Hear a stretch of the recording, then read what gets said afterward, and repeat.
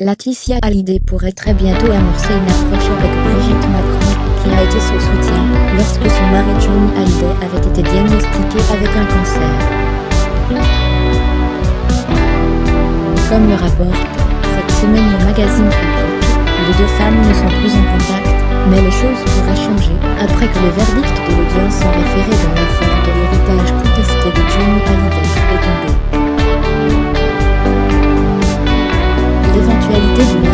avec David et Laura qui semble se profiler va sans doute permettre à Laetitia Hallyday de reprendre le fil de son amitié avec Brigitte Macron. On ne peut croire que cette femme bienveillante et intelligente, comme elle l'a définie, ait pu la laisser tomber, dit la publication.